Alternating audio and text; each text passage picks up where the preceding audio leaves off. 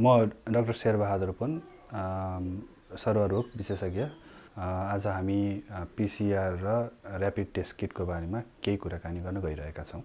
Rapid टेस्टले सामान्यतया हाम्रो यो जुन शरीरको रोग प्रतिरोधात्मक क्षमता विकसित भयो कि भएन भनेर देखाउने हो। त्यो भनेको चाहिँ हाम्रो शरीरमा कोरोना भाइरस प्रवेश गरिसकेपछि जुन हाम्रो शरीरले त्यो विरुद्ध बनाएको जुन एन्टिबडी हो त्यो नै पहिचान गर्ने यसको प्रमुख काम हुन आउँछ। पिसिआरले चाहिँ स्वयं सङ्क्रमणलाई नै शरीरमा छ या छैन भनेर देखाउने यो दुईवटा चाहिँ यो जुन ऱ्यापिड टेस्ट किट छ त्यसले चाहिँ हाम्रो शरीरमा कुनै समयमा सङ्क्रमण गरेको थियो भने एक प्रकारको प्रमाणको रूपमा चाहिँ काम गर्दछ। आइजिएम र आइजिजी चाहिँ दुईवटा अलिक फरक एन्टिबडी हो जसमा चाहिँ हाम्रो साङ्केतिक रूपमा आइजिएम देख्यो भने भर्खरै अब सङ्क्रमण भइरहेको अवस्था रहेछ भन्ने कुरा प्रारम्भिक चरणको अवस्था बुझ्छ।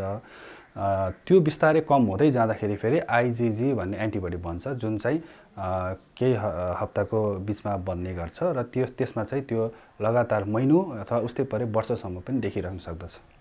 कतिपय मानिसहरूलाई लक्षण नदेखेको अवस्था पनि हुनसक्छ।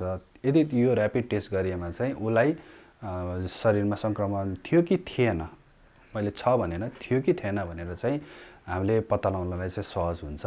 आइजिएम भयो सङ्केत छ हाम्रो शरीरमा छ भन्ने कुरा। आइजिजी भयो त्यो एउटा एक प्रकारको आर्मी नै भनेर बुझिएको हुन्छ। त्यो विरुद्ध लड्नको लागि तयार छ। सायद अमेरिकातिर पनि अहिले एक प्रकारको जो कोरोना सङ्क्रमण भइसकेर सुधार स्वास्थ्य भइसकेको मानिसको चाहिँ रगतलाई अब प्रयोग गर्ने अर्कोमा खास प्लाज्मा हुन्छ हामीले त्यो प्रयोग गर्ने र कतिपय एकदम एकदम अति जटिल अवस्थामा भएको बिरामीहरू पनि निको भयो भन्ने कुराहरू आउनु अथवा त्यो भनेको भनेको पनि त्यही आर्मी जुन आइजिजी भन्छौँ त्यो आर्मी एन्टिबडी नै हामीले प्रयोग गरेको भनेर बुझ्नु पर्दछ त्यसले गर्दाखेरि चाहिँ त्यो कहिलेकाहीँ अलिक लामो समयसम्म पनि रहन सक्छ र तुरुन्तै फेरि सङ्क्रमण गरेमा चाहिँ त्यसबाट बचाउनलाई यसले यसैको चाहिँ सबैभन्दा ठुलो महत्त्वपूर्ण भूमिका हुँदछ। यो त अब सबैले देखिरहेकै छ अब ऱ्यापिड टेस्ट गर्ने अनि त्यसमा पोजिटिभ आउने बित्तिकै मानिसहरूमा अलिकति बढी चासो लिएको देखि देखिरहेको छु। त्यसले गर्दाखेरि त्यसमा धेरै चासो र चिन्ता नलिउँ यदि देखियो भने पनि। किन भन्दाखेरि ऱ्यापिड टेस्टको चाहिँ कहिलेकाहीँ यो फल्स पोजिटिभ फल्स नेगेटिभ भन्ने भन्छौँ हामीले। कहिलेकाहीँ त्यो नहुन पनि सक्छ। त्यसलाई साँच्चै नै क्लियर गर्नलाई हो होइन भन्नलाई हामीले पिसिआर प्रविधि प्रयोग गर्नै पर्ने हुन्छ।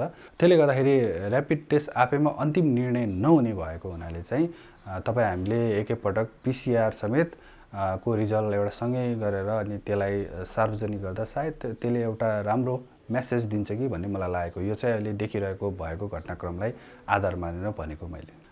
पिसिआरको अन्तिम निर्णय पर्खेर त्यसबाट जुन नतिजा आउँछ त्यसलाई चाहिँ हामीले मान्नु पर्दछ त्यतिन्जेलसम्म तुरुन्तै मानिसहरू आत्तिहाल्ने डराउनु पर्ने चाहिँ गर्नु पर्दैन जस्तो लाग्दछ मलाई। परीक्षणको दायरा बढाउने भनेर त सबै विज्ञदेखि लिएर सम्बन्धित सबैजना सहमत छ जस्तो लाग्छ। त्यसैको आधारमा नै यो परीक्षणको दायरा बढ्दै गएको देखिन्छ।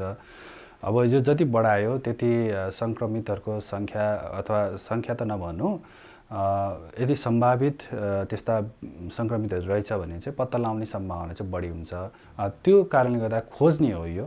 यो सङ्क्रमण चाहिँ खोज्ने हो। यो अनुहार हेरेर देखिँदैन थाहा हुँदैन। लक्षण पनि अरू रुगाखोकीसँग मिल्दोजुल्दो भएको हुनाले कोरोनै भनेर पनि भन्न नसक्ने अवस्था छ। त्यसले गर्दाखेरि चाहिँ यो अवस्था सिर्जना भएको हुनाले चाहिँ हामीले परीक्षणको दायरा बनाउँदा चाहिँ अझ राम्रो हुन्छ भन्ने मलाई लाग्दछ। त्यो चाहिँ अब एक्ज्याक्टली यति नै भन्ने कसैले पनि भन्न सक्दैन तर त्यो अवस्था घटनाक्रमले देखाउने हो। अब देख्दै गयो भने चाहिँ कति आवश्यकता पर्छ पर्दैन भन्ने। अब देख्दै नदेख्दै गयो भने त अब त्यो बढाउने आवश्यकता भन्ने कुरै भएन। त्यो चाहिँ आगामी दिनहरूको घटनाक्रमले नै देखाउने। सबैलाई गर्न आवश्यक छ जस्तो मलाई लाग्दैन। तर पहिला पहिला त अब विदेशबाट आएकोहरूलाई अथवा विदेशबाट आएको व्यक्तिसँग जो कोही बसेको त्यो खालको अवस्था भएको सिर्जना भएको अवस्थामा त्यसमा पनि लक्षणहरू देखियो भने चाहिँ गर्ने भन्ने थियो। तर अहिले चाहिँ अब यदि सङ्क्रमितहरू देखेको छ भने वरिपरि जो नजिक बस्नुहुन्छ उहाँहरूको पनि टेस्ट गर्ने भने चाहिँ त्यसरी चाहिँ टेस्टिङको जुन दायरा छ त्यो दायरा चाहिँ हामीले सम्भावित जोखिम भएको समूहबाट गर्दै लग्दाखेरि चाहिँ राम्रो हुन्छ। यो अब धेरै जस्तो मान्छेहरू चाहिँ अब देख्नै नहुने पर अब देख्यो भने पनि ल अब अब तुरन्त सरिहाल्छ ल अब हामीलाई पनि डर छ। डर ठिक छ त्यो सोच्नु आफ्नो ठाउँमा छँदैछ तर यदि चाहिँ तपाईँहरूले पनि ध्यान दिनुहोस् कि अब विश्व स्वास्थ्य सङ्गठनको जुन एउटा सर्ने सम्भावित व्यक्तिको चाहिँ कुरा गरे अनुसार चाहिँ अब त्यहाँ भनिएअनुसार विशेष गरेर चाहिँ एउटा कोही व्यक्ति त्यो एक मिनटको दूरीभन्दा कममा र पन्ध्र मिनटभन्दा बढी आम्ने सामने भएर ऊ बसेको रहेछ त्यो त्यो अवस्था सिर्जना रहेछ भन्यो भने मात्र सर्ने सम्भावना अब सर्छै भन्ने जरुरी पनि छैन सम्भावना हुन्छ भन्ने छ। त्यही कारणले गर्दाखेरि हामीमा जुन एउटा अहिले पनि एउटा सोच छ। नजिकै नजिकै आउने बित्तिकै सरिहाल्यो। ल अब म अब मलाई सङ्क्रमण भइहाल्यो कि भनेर जुन एक प्रकारको सोच छ त्यो सोच चाहिँ सोच्नुपर्छ भन्ने आवश्यकता छैन। किन भन्दाखेरि तपाईँ हामीलाई थाहा छ कतिपय केसहरूमा सङ्क्रमण पुष्टि भइसकेको मानिसहरूको परिवार र एउटै जहाजमा आएको मानिसहरूको यो जुन परीक्षण गर्दाखेरि उनीहरूमा नदेखेको तपाईँहरूले उदाहरण थाहा छ। त्यसले गर्दाखेरि चाहिँ हामीहरू यदि केही गरी बाहिर निक्लेको छ किनमेल गर्दाको अवस्था छ भने चाहिँ सकेसम्म लामो समयसम्म एक ठाउँमा नबस्ने अथवा कोही व्यक्ति भेटघाट भयो भने लामो समय उहाँसँग कुराकानी नगर्ने आफ्नो काम अथवा आफू जे उद्देश्यले आएको त्यो किनमेल गरेर चाहिँ तुरुन्तै घर फर्किनु भयो र घर फर्किने बित्तिकै हात राम्रोसँग धुनु भयो भने तपाईँलाई यो कोरोनाबाट सङ्क्रमण घरभित्रसम्म आउने सम्भावना चाहिँ हुँदैन। त्यस त्यसलाई चाहिँ हामीले विशेष ध्यान पुऱ्याउनु पर्छ